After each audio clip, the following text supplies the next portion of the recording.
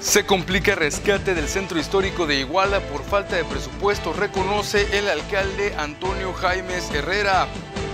Se reúnen Evelyn Salgado y gobernadoras electas con titular de la CEGOP. Destacan que la quinta parte del país estará gobernada por mujeres. Concluye como dato de colaboración con municipios que prestaron equipo hospitalario a la unidad COVID de Iguala. Siguen al alza casos de coronavirus en México.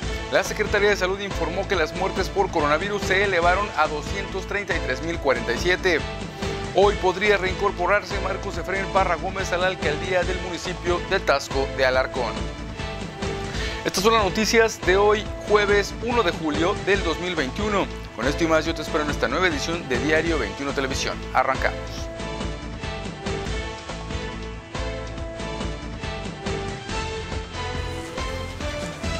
Hola, mi nombre es Jorge Albarrán y el día de hoy estoy aquí para invitarte a que no dejes solos a nuestros amigos de la Cruz Roja.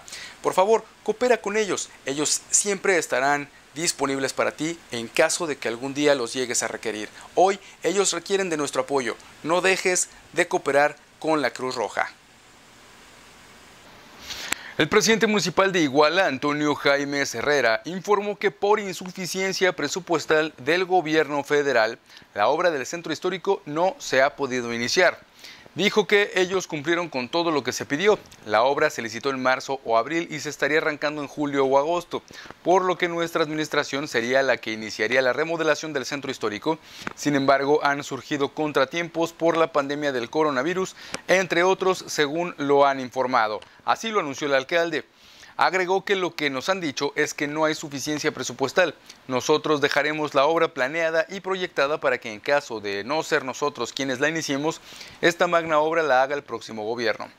Antonio Jaime Herrera recordó que la obra consiste en la intervención del primer cuadro de la ciudad para rescatar su patrimonio arquitectónico y modernizar su imagen con cableado subterráneo y áreas semipeatonales. Incluso se ha propuesto un paso vehicular subterráneo en la avenida Bandera Nacional. Dado que no se ha iniciado dicha obra, se le preguntó al alcalde si hay opción de hacer cambios en el proyecto original, a lo que respondió que no, pues es un proyecto ya licitado y presupuestado. Realizar cualquier cambio generaría un costo mayor no planeado y ya no sería posible subsanarlo. Subrayó también en ese sentido Antonio Jaime Herrera que el proyecto del rescate del centro histórico de Iguala tendrá una intervención arquitectónica por parte del gobierno federal a través de la SEDATU que consiste en el rescate del patrimonio arquitectónico del primer cuadro de la ciudad, como ya lo comentamos, así como la modernización de su imagen por medio de los cableados subterráneos y las áreas semipeatonales y que además se autorizó la demolición del Palacio Municipal para construir uno nuevo en ese mismo lugar. En otros temas, la secretaria de Gobernación Olga Sánchez Cordero se reunió con las gobernadoras electas de Baja California, Marina del Pilar Ávila, Campeche, Laida Sansores, Colima, Indira Vizcaíno, Guerrero, Evelyn Salgado y Tlaxcala, Lorena Cuellar. En su cuenta de Twitter, la responsable de la política interna del país dijo que juntas atenderán todas las necesidades de la población, pero sin duda tienen la oportunidad de impulsar una agenda de género para fomentar condiciones que erradiquen la discriminación por esta razón. También para prevenir, atender, sancionar y eliminar la violencia en contra de las mujeres, promover igualdad de oportunidades con los hombres en todos los ámbitos de la vida pública y privada y la participación igualitaria en la vida cultural, política y económica del país. Olga Sánchez Cordero dijo que se va a hacer la diferencia con gobernadoras firmes, responsables y exitosas. Recordó que por primera vez en la historia democrática de México la quinta parte del país estará gobernada por mujeres y que hasta hace poco los partidos políticos no estaban ni preparados para tener candidaturas femeninas para las gobernadoras. Hoy han vencido la resistencia, añadió la funcionaria en redes sociales. La dependencia informó que también se invitó a la gobernadora electa de Chihuahua, María Eugenia Campos, a la reunión, pero ella se disculpó por no poder asistir. En otros temas, el presidente municipal de Iguala, Antonio Jaime Herrera, acompañado del secretario de Salud en el municipio, Federico Javier Ortiz Ibarra, dieron por terminado el comodato a través del cual los ayuntamientos de Tasco, Copalillo, Cocula e Excateopan, en un acto solidario con el gobierno de Iguala, facilitaron equipamiento hospitalario para la unidad COVID-19, el cual ya les fue devuelto. Durante un acto protocolario que tuvo lugar en las instalaciones de la unidad COVID, Jaime Herrera dio a conocer el informe que se tiene de acuerdo al número de pacientes que se atendieron por la unidad COVID en el municipio. Estado e incluso de los Estados Unidos de América. El acto protocolario tuvo presencia del alcalde de Tasco, Marcelo Roberto Gómez Delgado, y Julián Castro Santos de Copalillo, así como el secretario general de gobierno de Excateo de Cuauhtémoc, Emanuel Núñez Quijano, en representación de la alcaldesa Naucelia Castillo Bautista, y el secretario municipal de Cocula, Ulises Serrano Crespo, en representación del alcalde Carlos Alberto Duarte Baena. En más información, la Secretaría de Salud informó que las muertes por COVID-19 se elevaron a 233.047 debido al reporte de 244 muertes más. La mayoría de la de ellas se concentran en la Ciudad de México, que reportó 44.500 fallecimientos hasta el momento. En segundo lugar se encuentra el Estado de México con 28.085 defunciones y Jalisco con 12.579, por el registro de 6.105 nuevos contagios. Los casos confirmados acumulados se incrementaron a 2.519.269. En el comunicado técnico diario de coronavirus se informó que la curva epidémica en el país aumentó a 17% con el reporte de 38.179 casos activos, de los cuales la mayoría se registran en la Ciudad de México, que acumula 10.975 nuevos contagios. Le sigue Baja California Sur con 2.736 y Tabasco en tercer lugar con 2.563. En otros temas, la minera Media Luna, subsidiaria canadiense de Torex Gold Resources Incorporation, convocó la segunda edición de Enchulemos Juntos Nuestra Comunidad en el poblado Nuevo Balsas, con lo cual quedó institucionalizado el programa de mejora y recuperación de espacios públicos que involucra al gobierno municipal en próximas ediciones. El vicepresidente de Torex Gold en México, Faisal Rodríguez Valenzuela, y presidente municipal de Cocula, Carlos Alberto Duarte Baena, encabezaron la jornada de limpieza en la que participaron 300 personas voluntarias, colaboradores de 11 empresas contratistas y trabajadoras de la mina, quienes organizaron las brigadas para intervenir diferentes polígonos del poblado. En su mensaje, el también gerente general de Minera Media Luna, Faisal Rodríguez, agradeció la suma de esfuerzos entre autoridades locales, municipales y la población, representada por las y los integrantes del Comité de Desarrollo Comunitario Participativo de Nuevo Balsas, el CODECOP, al destacar que la alianza fortalece los vínculos que a todos benefician. Asimismo, el presidente municipal de Cocula, Carlos Alberto Duarte, aplaudió que la empresa de capital canadiense mantenga una actividad minera responsable que beneficia a las comunidades y a sus habitantes. Durante la faena fueron inauguradas tres obras de remodelación y una cuarta comenzaron las labores de construcción, cuya inversión suma 3.5 millones de pesos para beneficio de 2.200 familias de Nuevo Balsas. Volvemos con más información después de esta pausa comercial.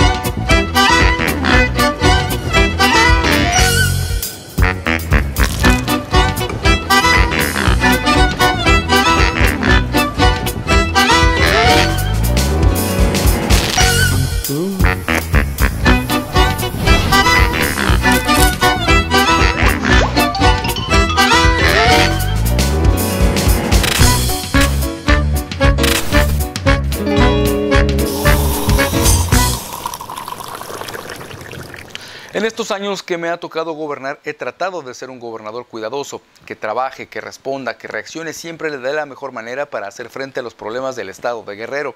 Así lo aseguró Héctor Astudillo Flores al inaugurar en Juan R. Escudero obras de infraestructura de la Secretaría de Desarrollo Urbano, Obras Públicas y Ordenamiento Territorial, del IGIFE y de entregar apoyos de programas sociales. Acompañado de secretarios de despacho, Héctor Astudillo Flores destacó que ese municipio ha vivido en armonía, que es una de las cosas más importantes a las que puede aspirar un pueblo. Deseó éxito a la presidenta municipal electa Diana Carolina Costilla Villanueva y le recomendó seguir trabajando en favor de este municipio, Puerta de las Dos Costas. En este lugar inauguró la avenida Juan R. Escudero, principal vía de circulación que representó una inversión estatal de 6 millones de pesos y consistió en la pavimentación con concreto estampado de 382 metros lineales y entregó actas de nacimiento y de matrimonio. En su mensaje deseo que a Guerrero le vaya bien porque es un estado que ya merece progresar.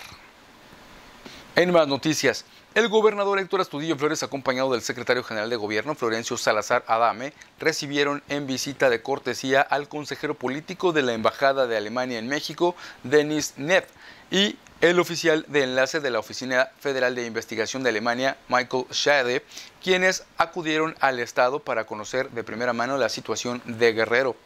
En esta mesa de trabajo, acompañado también del secretario de Seguridad Pública, David Portillo Menchaca, así como del fiscal general del Estado, Jorge Suriel de los Santos Varila, coincidieron en que Alemania es el socio comercial de Europa más importante de México y Guerrero tiene mucho que ofrecer al mercado internacional.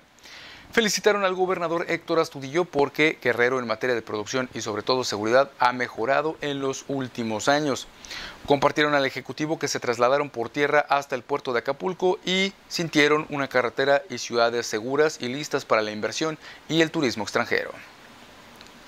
En otros temas, el secretario de Salud Municipal, Javier Ortiz Ibarra, compartió el informe oficial de lo que fue la unidad COVID de Iguala, misma que fue constituida en el mes de junio de 2020 cuando inició la pandemia en este municipio. El informe fechado este 30 de junio comprende los resultados del 2 de junio del 2020 al 15 de marzo de este año que la unidad COVID que se creó por iniciativa del gobierno municipal que encabezó el alcalde Antonio Jaime Herrera. En el reporte a cargo de Javier Ortiz Ibarra se establece que fueron recibidos y atendidos pacientes de 25 municipios, entre los que destacan Tepecoacuilco, Huitzuco de los Figueroa, Teloloapan, Tasco y por supuesto Iguala. Señala que en este plazo de junio de 2020 a marzo de 2021, fecha en que se cierra, se atendieron a un total de 2.371 personas. Se les dio seguimiento a 2.216, tuvieron mejoría 2.165 y 50 quedaron con algún síntoma. Agrega que tuvieron 263 pacientes hospitalizados, 217 por ingreso triag y 46 por ingreso de ambulancia. De los egresos establece que hubo un total de 115 pacientes que volvieron a casa, además de que se realizaron traslados de pacientes a otras ciudades en este periodo de 48 pacientes. En otros temas, hoy jueves la gobernadora electa de Guerrero, la morenista Evelyn Salgado Pineda, estará en Iguala para agradecer el apoyo brindado en las elecciones el 6 de junio y dar a conocer su plan de gobierno que estará ejerciendo a partir de la toma de protesta que estará desarrollando el 15 de octubre. Lo anterior así lo informó Vicente Bandera Román, activista e integrante del equipo de recepción de la gira que hará la hija del senador de la República, Félix Salgado Macedonio, Evelyn Salgado Pineda, actual gobernadora electa de todos los guerrerenses. En entrevista, Bandera Román dijo que el arribo de Evelyn Salgado Pineda está previsto para las 17 horas en el Monumento a la Bandera, donde saludará y agradecerá a todos los morenistas y simpatizantes que en la elección del 6 de junio le dieron su voto. Es un encuentro de agradecimiento a la gente y de decirle que será una gobernadora cercana al pueblo. Ella acude a Iguala a refrendar su compromiso con el pueblo de Iguala y a decir que trabajará sin distingos de partidos, colores y credos políticos y que a partir del 15 de octubre será la gobernadora para todos los guerrerenses.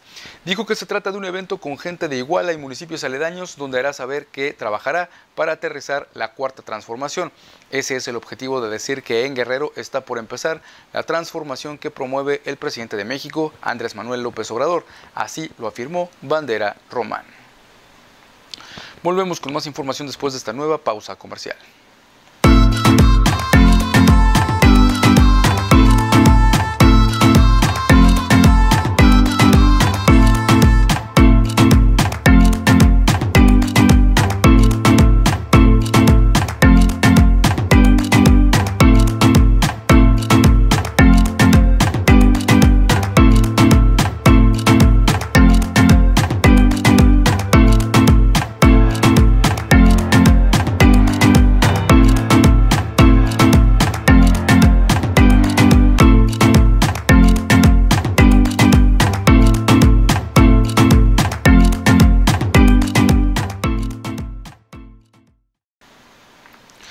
Presidenta de la mesa directiva del Congreso del Estado, la diputada Eunice Monzón García, confirmó que el próximo 15 de julio se recibirá el gobernador del Estado, Héctor Astudillo Flores, para que presente ante el Pleno su sexto informe de gobierno. Indicó además que al interior de la conferencia se está analizando el desarrollo de las comparecencias de secretarios de despacho con motivo de la glosa. En entrevista, la diputada refirió que las actividades en relación al sexto informe inician el día 5 de julio, día en que el Poder Legislativo recibirá la documentación oficial por parte del Ejecutivo Estatal. Representando por el secretario general de Gobierno, misma que se pasará a las y los legisladores integrantes de la 62 legislatura para, para su análisis. Refirió que en el Congreso del Estado sí hay condiciones para que sea un acto basado en el respeto entre ambos poderes, en el que participarán representantes de cada grupo parlamentario y las representaciones políticas que integran la 62 legislatura. En más noticias, a dos meses de concluir su periodo de tres años, la 62 legislatura del Congreso local sí designará al titular de la Auditoría Superior del Estado. Los legisladores analizan dos posibilidades, ratificar al actual auditor Alfonso Damián Peralta por otro periodo de siete años o nombrar a uno nuevo.